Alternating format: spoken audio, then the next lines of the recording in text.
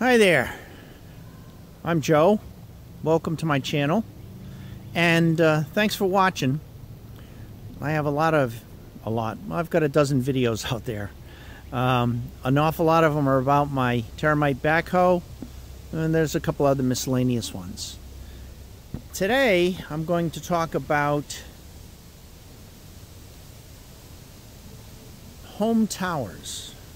I watched a video last night of someone in New Hampshire putting up a tower for his personal use.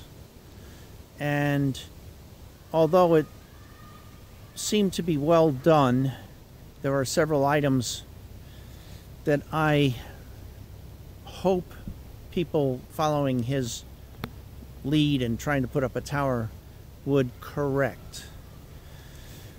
Now, I'm a certified competent climber and competent rescuer. I've been climbing towers a couple of decades.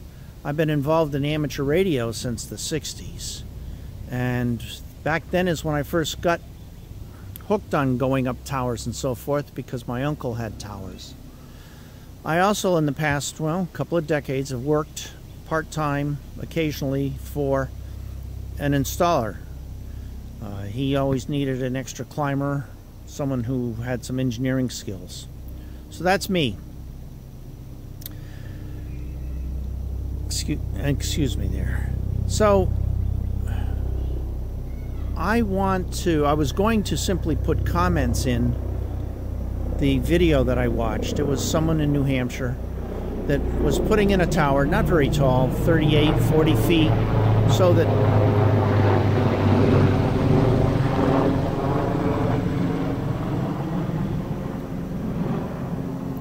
was putting in a tower 38 or 40 feet so he could do his Skylink, which I think is internet. It was good as far as he went. There were a lot of comments, particularly about the base and how it was installed. But there are other issues too. And I want to address some of those issues here today. Uh, this will be about three parts, I believe, that I'm going to do. The first is going to be lightning protection, which I, unless work was done that wasn't on the film, um, was not done very well. The second will be personnel or personal safety and climbing and harnesses and uh, standards for that. The third will be actual construction issues and probably more about my issues, even though my tower was professionally engineered and the building department signed off on it. Uh, it was what was not mentioned in any of the drawings and so forth that should have been. Uh, so I'm going to go into that. So here we are. I'm going to switch. I believe I'm going to switch. So here we are. I'm in front of my tower. And this is 85 feet with a bunch of antennas on it. It's guyed, G-U-Y-E-D. It uses guy wires, G-U-Y. And I don't know if we can see it from here. We can see it from here. Hopefully it shows up. Yeah, off in the distance, you'll see my 100 footer. And there's a wire in between, which is used for amateur radio communications around the world. The other antennas and so forth are much lo more local or television antennas. And I'm going to stop here for a second and tell you that the fourth part of this is going to be uh, talking about a couple of different standards. There's there's one put out by Motorola, which is pretty much the ad hoc industry standard for erecting towers, communications facilities, and so forth. Another one is a TIA document, which I think deals primarily with wind load, and then one that Rohn, R O H N, puts out that explains the TIA document and I couldn't even follow the explanation of the TIA document. I'm not involved in it day to day, so there's a lot I don't know, and I will gladly admit that. So here we are. Um, and by the way, none of this should be construed as how to do a commercial tower, municipal tower. This is strictly my own amateur radio towers, or if you're putting one up for yourself. Um, at least once a year, we have reports of how a ham radio guy climbed the tower without checking his guys, or had it installed wrong and ended up falling to his death or getting killed by the tower. So I'd like to at least give people ideas on what they should think about.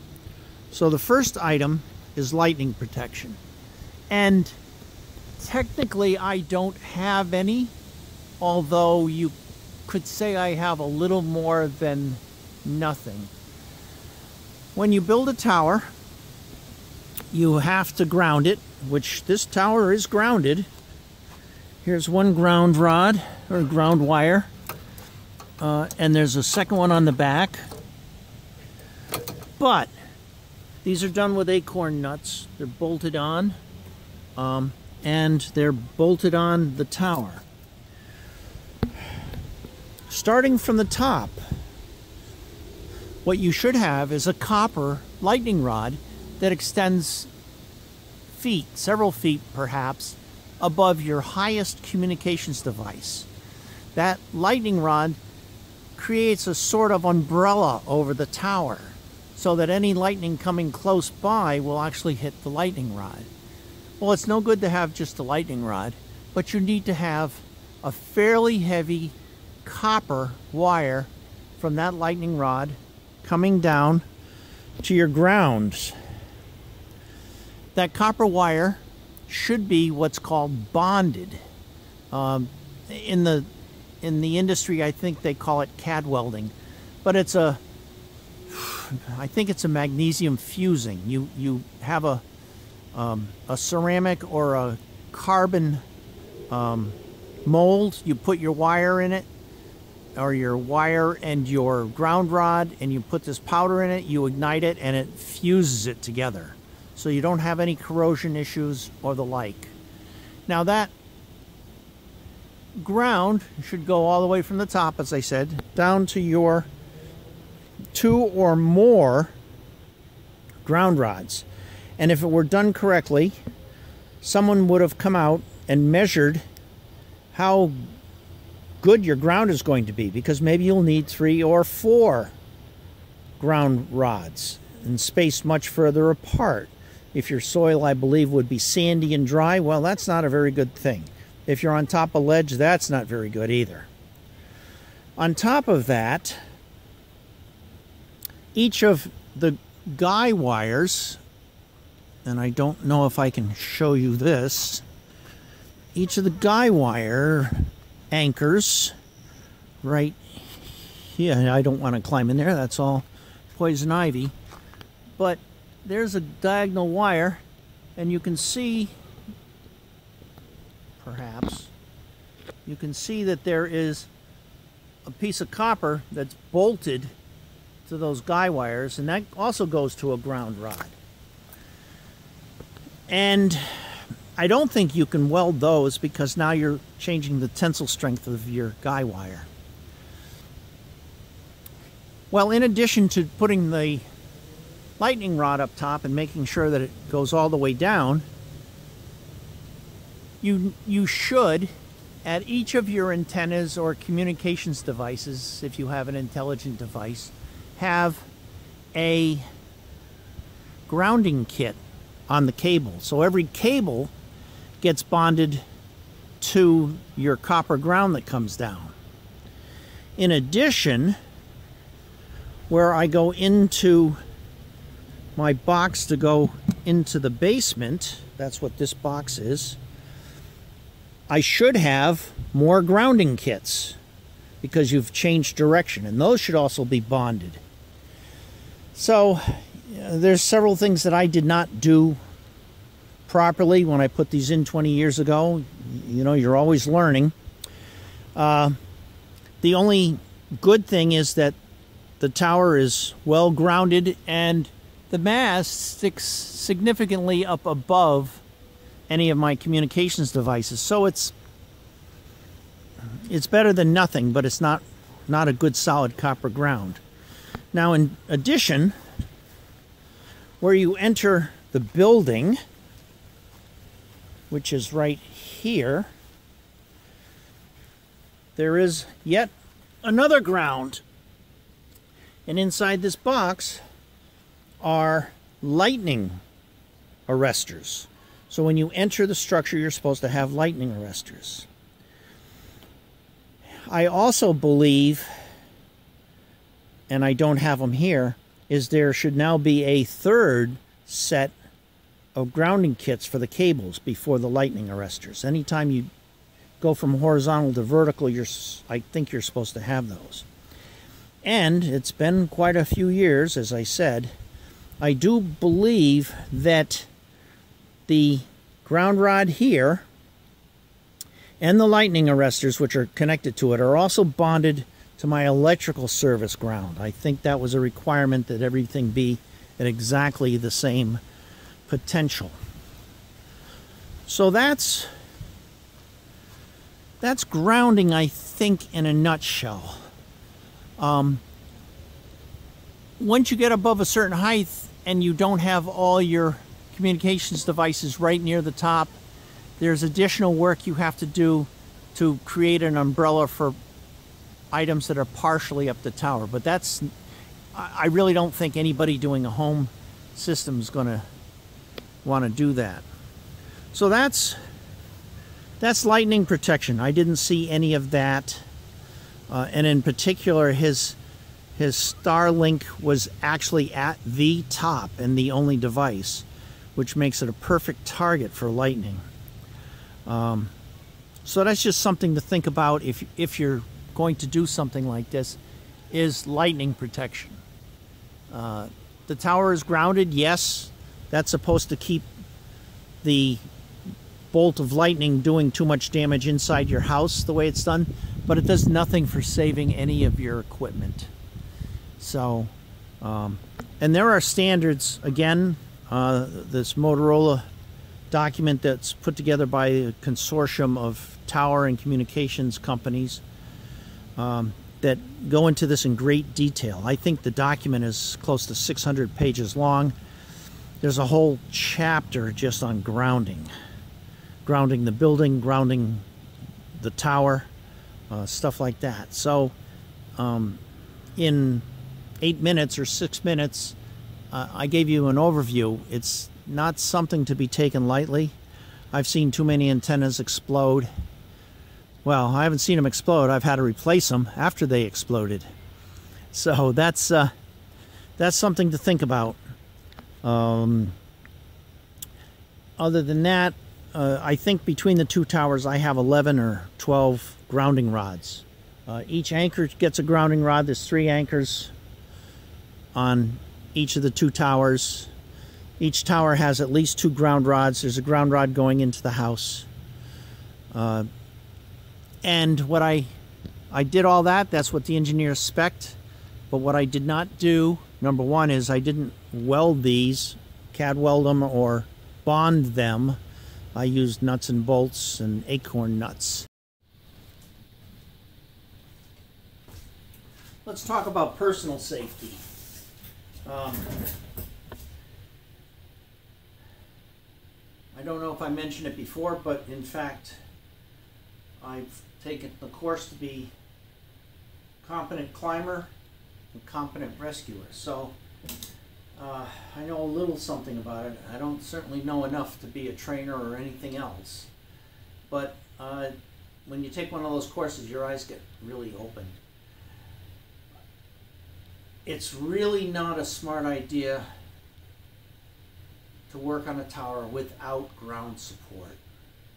At the very least, the person needs to have someone on the ground that can call 911 should there be an emergency and you become disabled on the tower.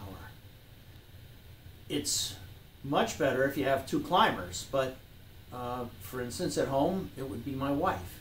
Well, before you start on the tower, you make sure that they understand that if you act funny or look funny, that you're supposed to call, that, that they understand what the phone number is if you have company visiting and they're your ground support. Um, so that's that's certainly part of personal safety is the preparation. Along with that, the person on the ground, at the very least, needs a hard hat. Uh, and a lot of times, I think technically, you should always have a hard hat on the tower. There are times that you climb the tower and you come up underneath a support for an antenna. And if you don't have a hard hat on, it hurts. So you, you have to be very aware of that.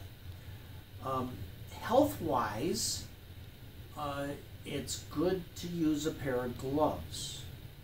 The birds love your towers. The birds leave stuff on the towers. You don't want to get that on your hands and then start rubbing your eyes or doing something else. Uh, it's just not good for you. Now, as far as personal safety, you're actually climbing. This, this, is, this is my bag of climbing gear, or most of it. Um,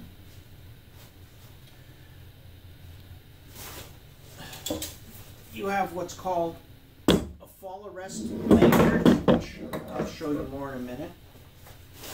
And then you have positioning lanyards. And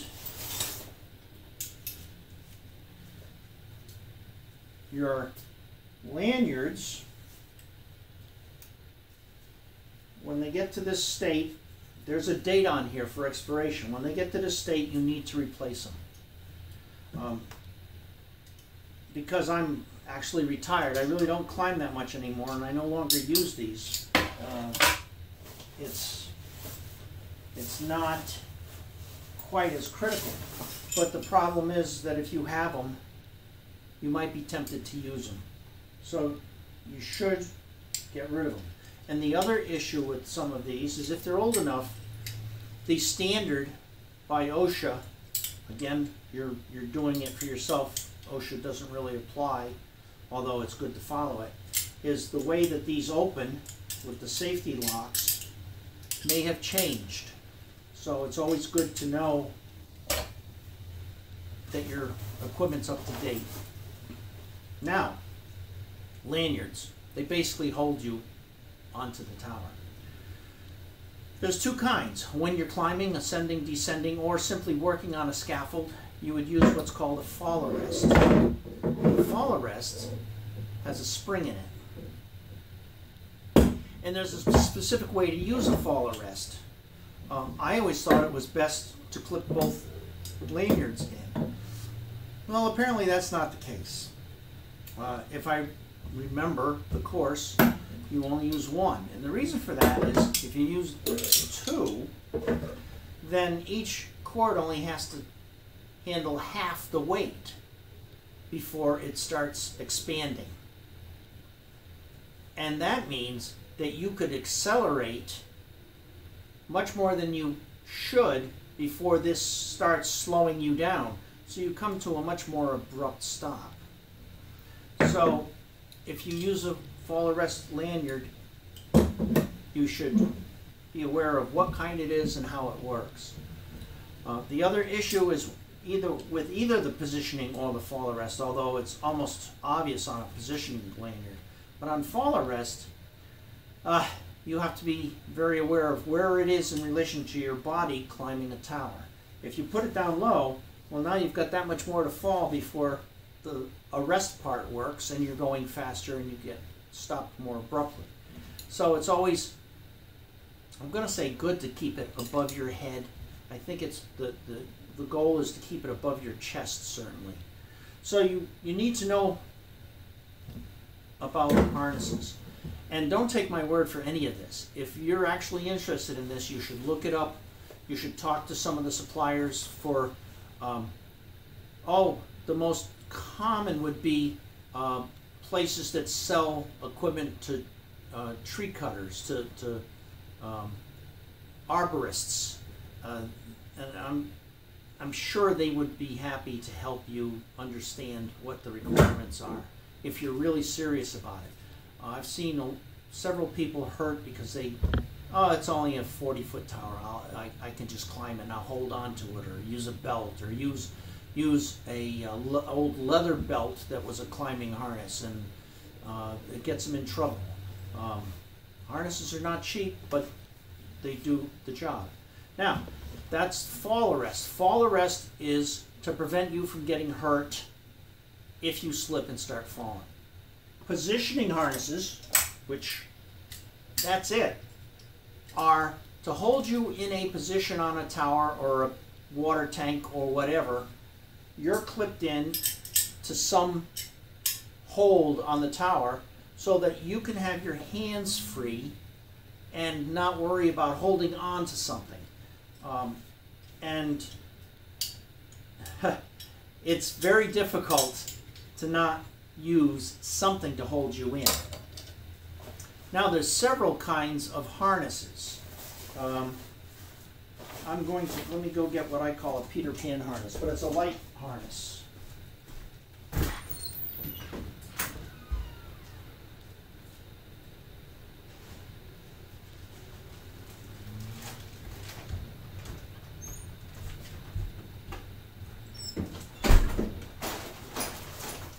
This is the kind of harness that you would see used either when you're using a personnel lift or uh, maybe in one of the big box stores when they have a lift going on. There's not a lot to it. There's simply one clip where you clip into your fall arrest. Uh, it has, oh, there's a second one on the back. I take it back. Um, there's um, spots for your legs, but it's it's pretty wide open. Um, not a whole lot around your waist, but it's, it's pretty safe. I'm going to take a second here to make sure we're still recording. Yep. Okay. When I climb a tower, I use something a little different.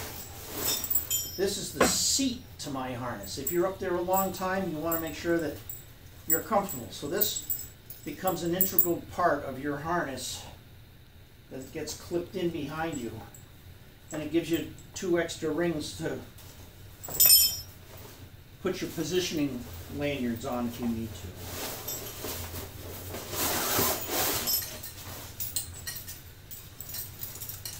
This is a full body harness.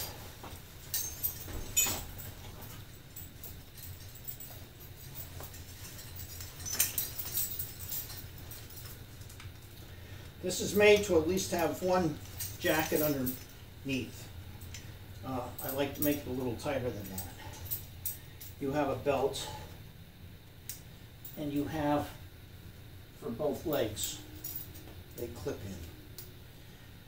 And there's a lot of a lot of information and procedural issues that what you can and cannot do with these clips and rings and when you're climbing if you need to support your your um, lanyard you you're not supposed to clip it into your harness because it can get caught on something. They have rings specifically made for it that will actually break if you catch it too hard. Um, so there's a lot to it, and I'm sure I've forgotten a lot, so don't take my word for a lot of this. But you can see, and this here, you can see this was a quick release. You can buy them with all quick releases, all regular buckles, a mixture.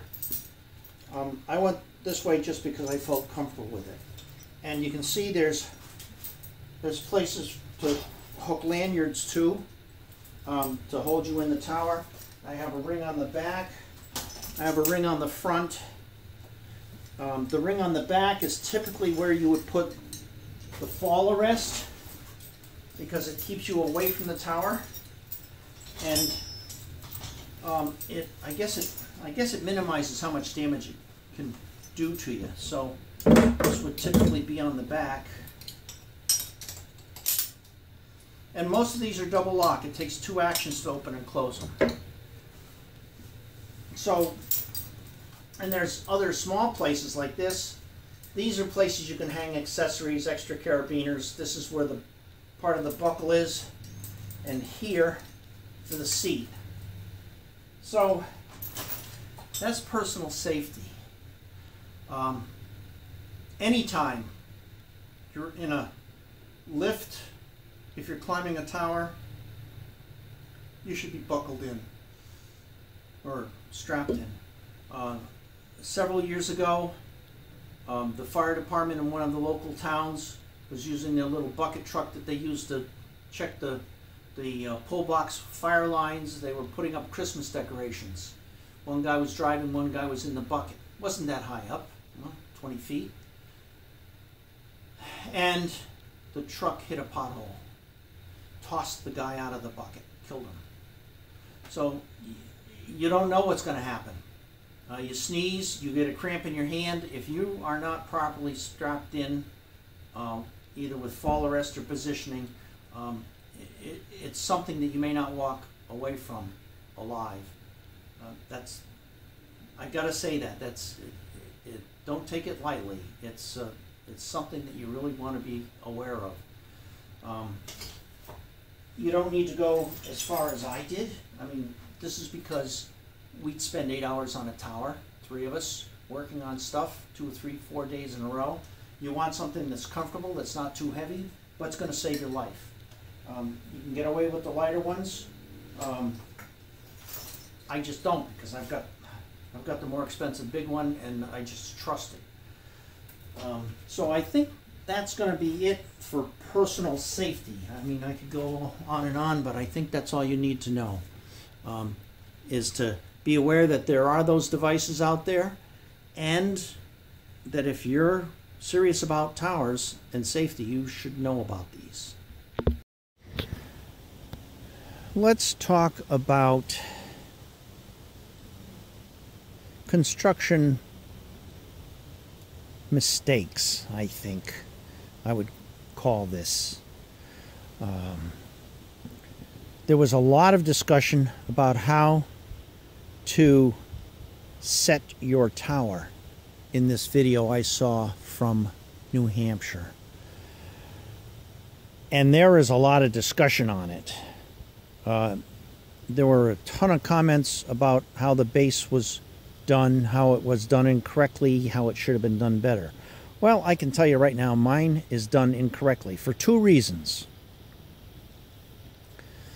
Number one, this is a guyed tower. I told you that already. I have three anchors, 180, uh, 120 degrees apart at the appropriate tension and all the rest of it. But when you have a guyed tower, it is expected to move. Well, the problem is I've got eight feet of base poured in concrete that's not going to move. And it is expected that either this will now start fatiguing and shearing here, or it will start fatiguing and shearing at my first joint.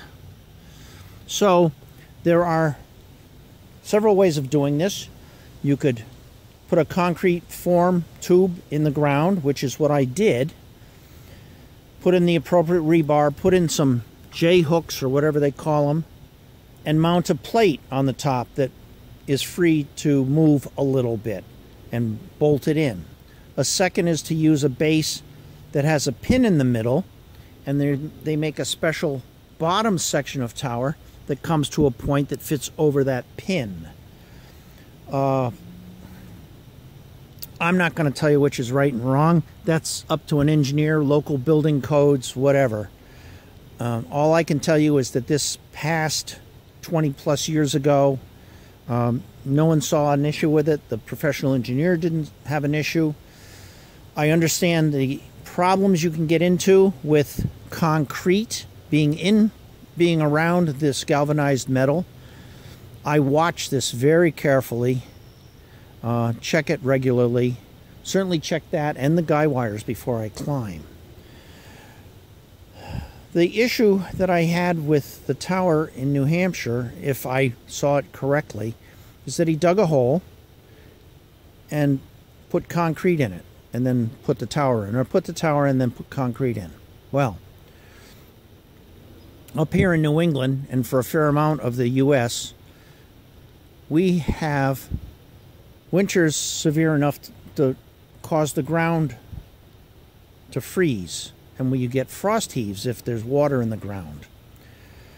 You want to make sure that the side of your base is as smooth as possible, which is what a concrete form tube does. That way, there, the ground will slide on the side of it instead of trying to lift it or distort it. I don't think one of the concrete tubes was used on that project. And I just want people to be aware that it's something to think about. Uh, probably you don't have to worry about it in Florida, but you'll have other issues. Lightning capital of the world, I think.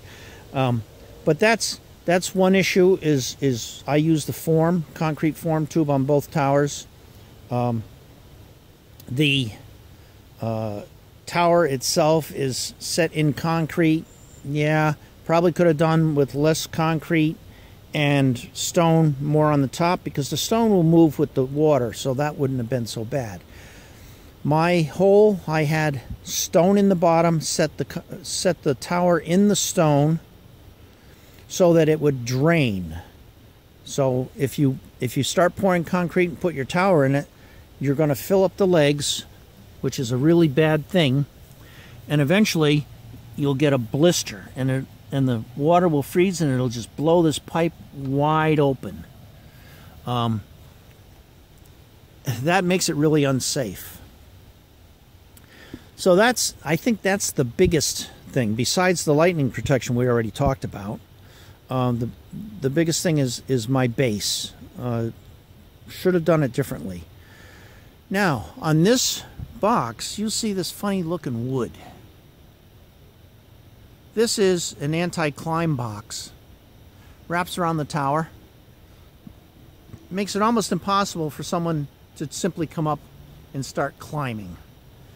Uh, they'd have to either pull the plywood off or get a ladder. I mean, you can't protect 100% of what you're doing, but you should take precautions. Um, it's it's it's challenging and it's it calls to some of the folks that think it's a, a, daring thing to do is to climb a tower. So you need to protect them against themselves and need to protect yourself. So you want to make sure that your tower is safe when no one's around watching people on it. So that's that's um, I think that's it in a nutshell. Uh, again, I talked about lightning protection. That would be the biggest thing. Cables, they do make standoffs for the cables. Um, I have seen people use wire ties. I've seen most of the wire ties fall off in five to ten years, even the UV ones. I've seen people use tape. I've seen the tape unravel after five or ten years. Um, I use a combination. I have tape and I also have 14 gauge solid copper wire that's insulated. Um, it lasts. The big thing is you can't make it too tight. You'll pinch your cable. That's not a good thing. But it keeps your cable from flopping around. Um, that's if you don't use cable trays that come down because the cable trays will hold the cables perfectly aligned away from the structure, away from any bends, away from bolts. Uh, but it's it's a fair expense. Um, you can see I didn't do it. It's a ham tower. Uh, there's several things I didn't do, uh, but I'm not about to change them at this point. Uh, my goal at this point is to make sure that this tower stays upright, that it's safe for my neighbors and myself, and I do that by regularly checking the base, the guy wires, um, the anchors, I have, what is it, a yard and a half or two yards of concrete buried four feet down. Um, I really want to be careful here because I think this is where I picked up poison ivy. Um, there, there is um, the, the shackle for the end of the guys, the turnbuckles, the ground, uh, ground wire, and at least once every couple of years or whenever I'm going to climb, I remove all the leaves and I check to see that that one inch anchor bar is not losing its galvanizing and is perfectly solid still. Uh, that's that's one of the things that kills people. They don't they don't check the guy wires or they don't check the joints on the way up. I've seen bolts. These tower sections are every 10 feet. When you're climbing, you should check all the bolts on the way up.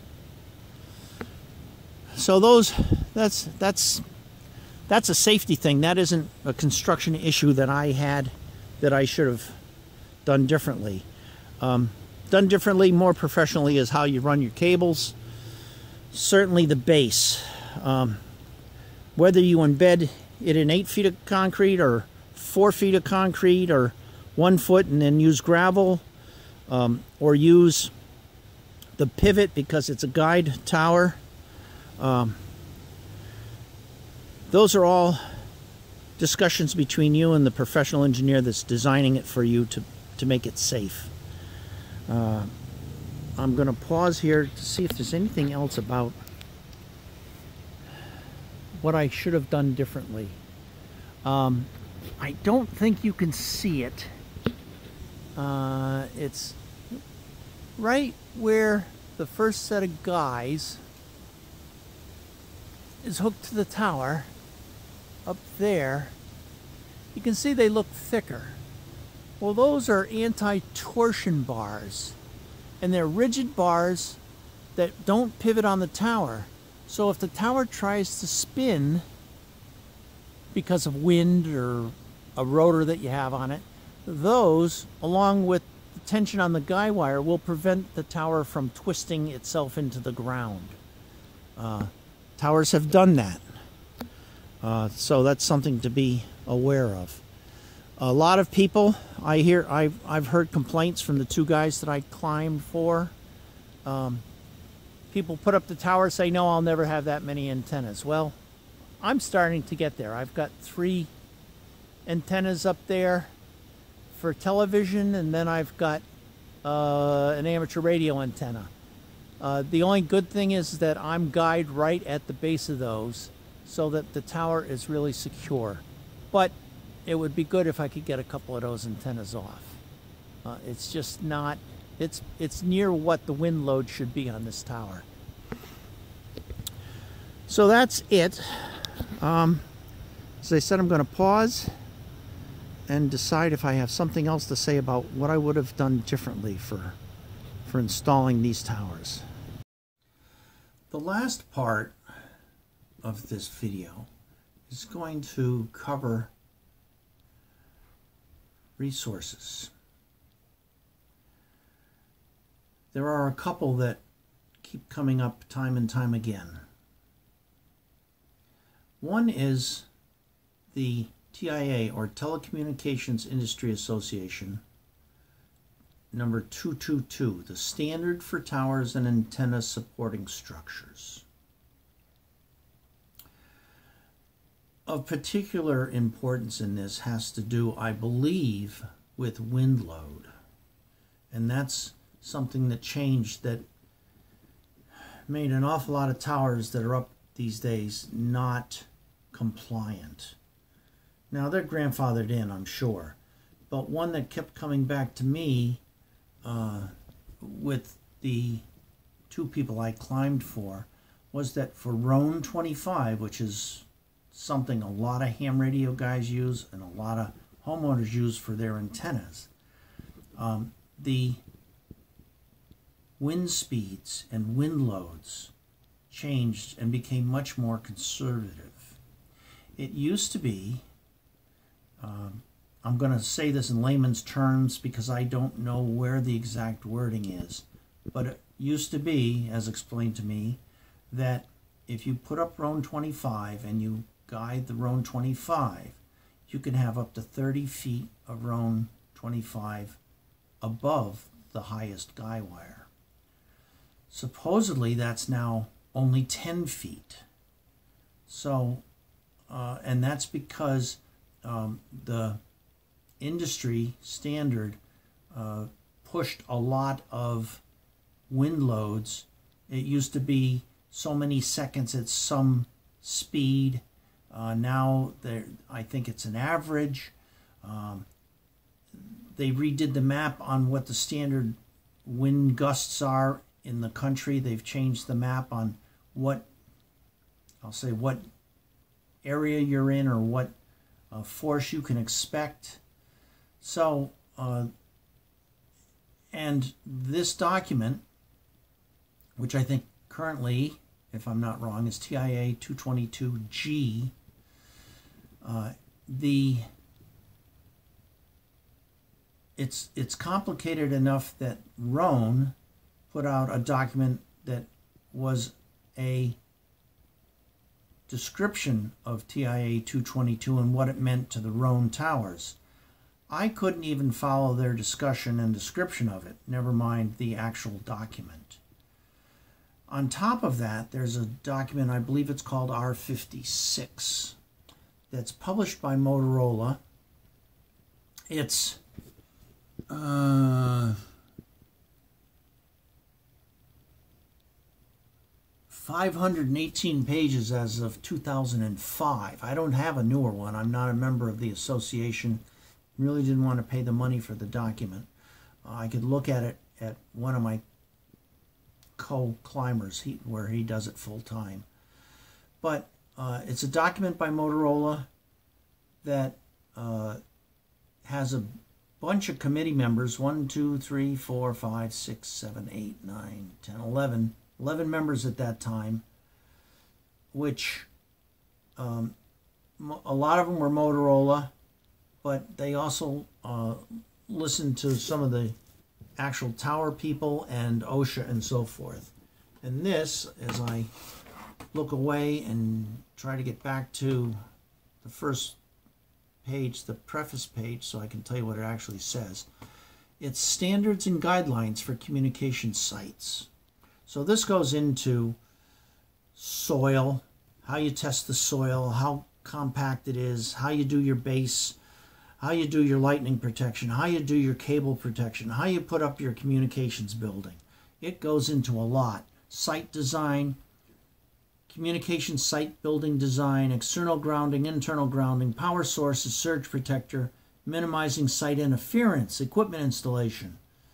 And it goes on and on and on. Um, I wouldn't expect anyone putting up a home tower to know anything about this. But in looking at it as a amateur radio operator, as a guy that does climbing occasionally, as an electrical engineer, not a professional engineer, but just a double E, I find some of it very interesting, especially when someone asks me how to put up a tower in at their house. Uh, being a ham radio operator, we have several people that say, "Hey, how would you do this?" And um, it sheds a lot of light on that. So there's certainly documentation out there. Uh, the homeowner is not going to want to read any of this. Um, but without knowing that it's out there or talking to someone who knows more about it, you can put up a tower that certainly looks safe but has issues. And uh, I think this is part four. I'm recording it out of sequence. We're now going to do part three, and I'm going to tell you some of the issues I have with my towers. Even though they were designed by a professional engineer, the building department signed off on everything.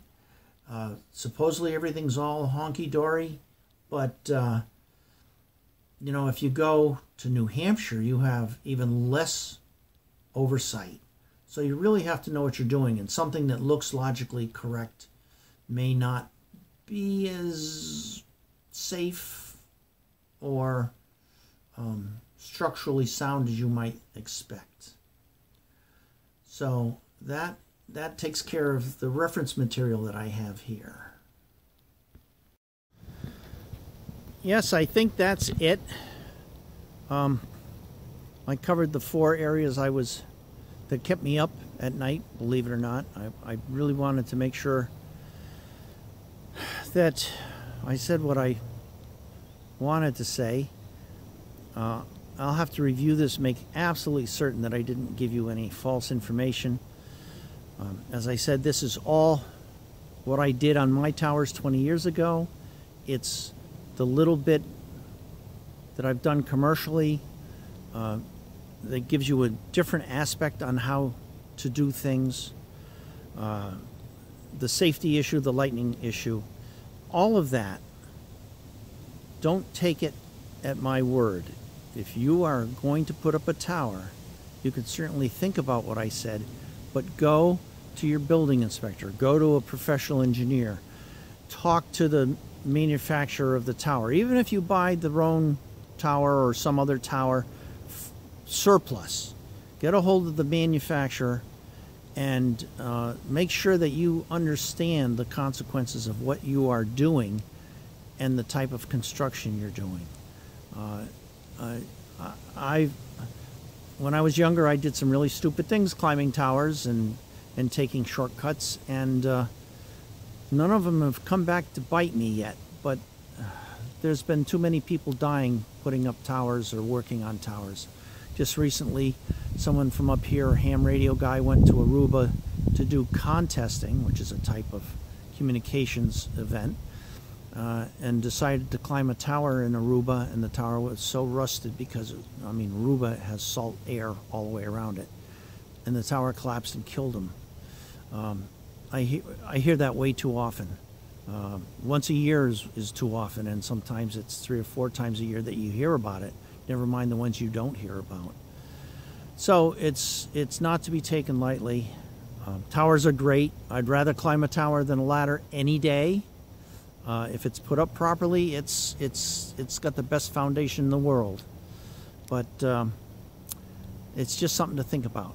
So thanks for watching if you stuck it out to the end. Uh, if you like it, say so. Put some comments down. Um, I don't. I, I only have a couple of subscribers. Um, get a few comments here and there. So uh, have fun with it. And uh, the next video is going to be yet totally different. Uh, and I'm I'm going to surprise you with the heading on it. Hopefully, I can fake a couple people out with it. So have a have a good day. Again, thanks for watching. If you like it, uh, let me know. All right.